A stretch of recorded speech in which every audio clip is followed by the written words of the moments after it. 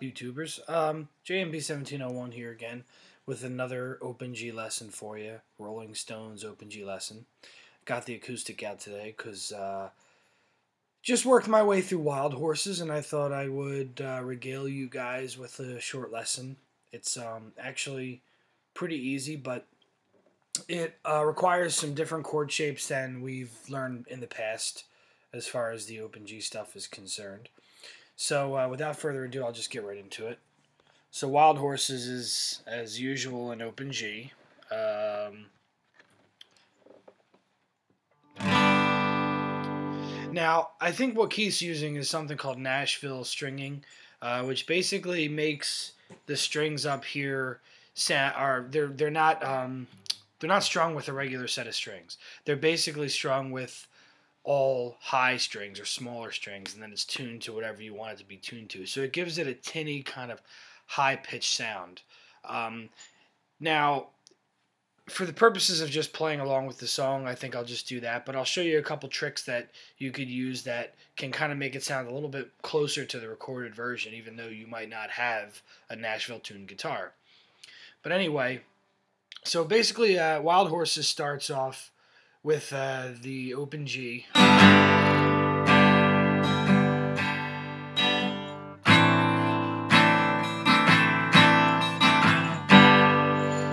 Okay, now what that chord is, is basically you're making an A shape with these three fingers on the second fret, and you're bringing your pointer finger down here to the uh, first fret of the B string. Now, uh, what's interesting is I used to just play the song like this. I used to just go.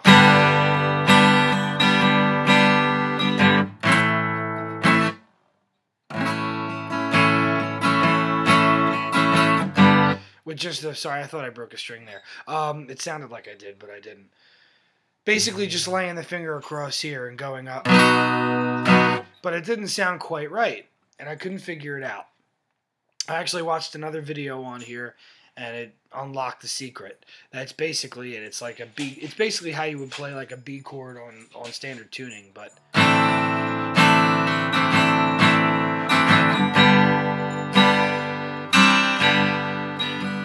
Um, that's just a little like there's a fill part in there that he does, and I just kind of go to the uh, the trusty Keith shape.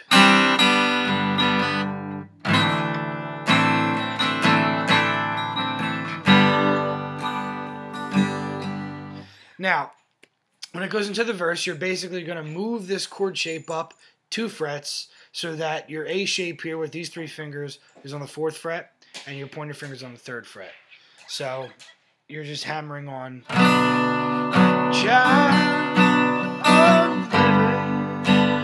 Now that part, a little trick I, I can show you here is uh, basically if you put your pointer finger on the uh, third fret of the B string and your ring finger on the fifth fret of the um, the D string here, you get kind of a higher sound. Uh, a little bit, it brings the chord up to basically like I guess the next octave, I guess it would be. So when you do that, and you could do it in the intro too, you know.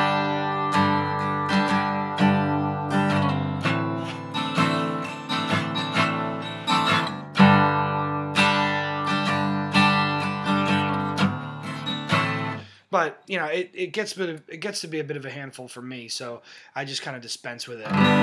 Uh, but anyway so the verse open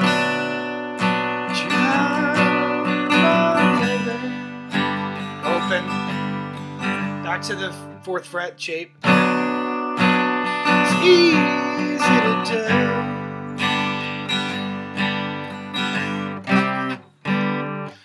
right? Um, that's sorry, I don't know why I hit the fifth fret there. I'm just screwing everything up. All right, it's easy to do. Then you're gonna go back to that first and second fret shape. Then you're gonna go up to the fifth fret, and that's just a lay across. Seventh fret, open. Back to the seventh fret. Then go back to the fourth fret. Graceless.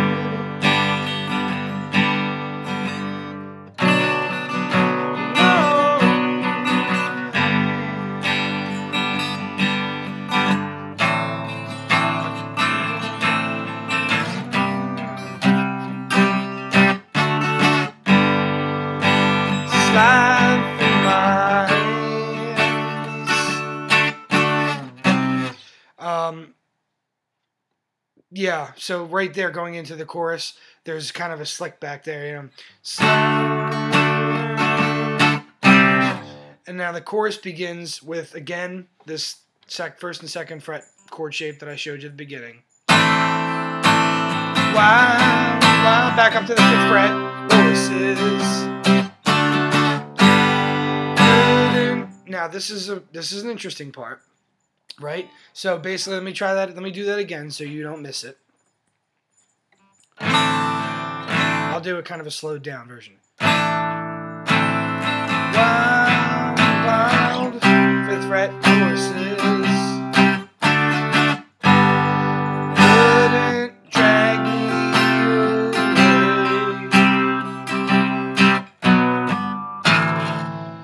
Now, what I did there was I did the the start me up shape. it really is. I swear to God, he he. I knew he was going to fit it in here somewhere. You know, Keith. But basically, it starts on that.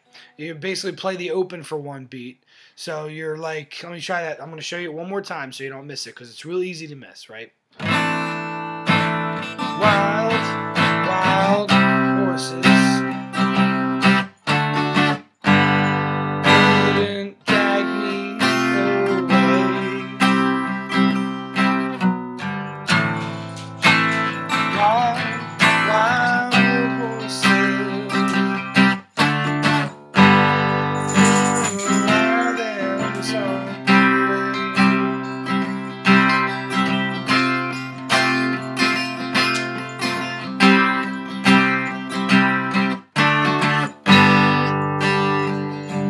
So that part, as you just heard, I played that middle part where uh, Mick Taylor is soloing. Basically, it's just that part. He just kind of uh, Keith just kind of does. Then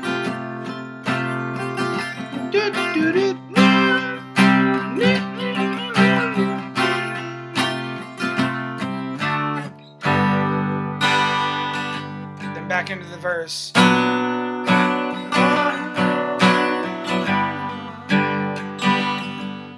Um, I don't think there's any more parts to this song. You basically just have to put it together, listen to the song, practice each part, and then just play it at its at its regularly scheduled interval, uh, so to speak.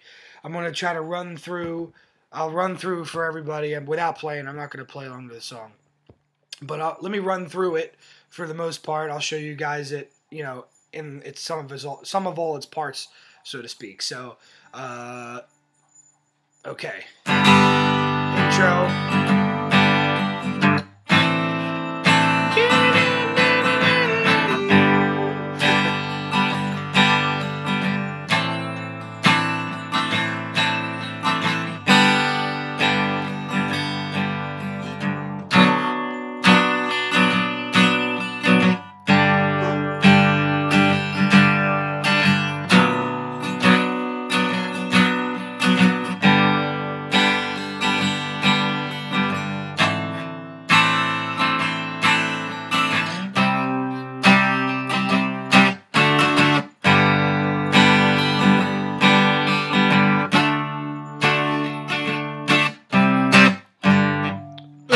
Sorry.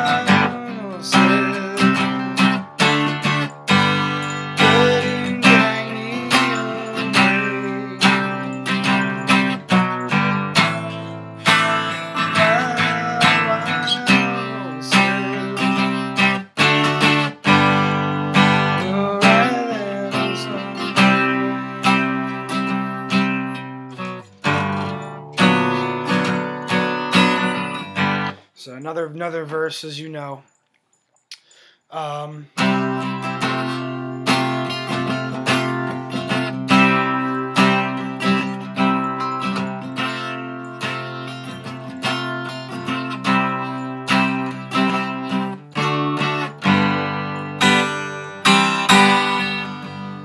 uh, you know, little things you can play with around there. But basically, that's the entire song. Um, you know, at the end, they basically just play the chorus out really hard and long, and obviously, that's like the best part of the song. But hopefully, that helps. You can put it all together, uh, listening to the song, kind of press and play, and stop and listen to this video. As usual, um, you know, comment if anybody has any questions. Um, and um, hope you guys very much enjoy the lesson. Later.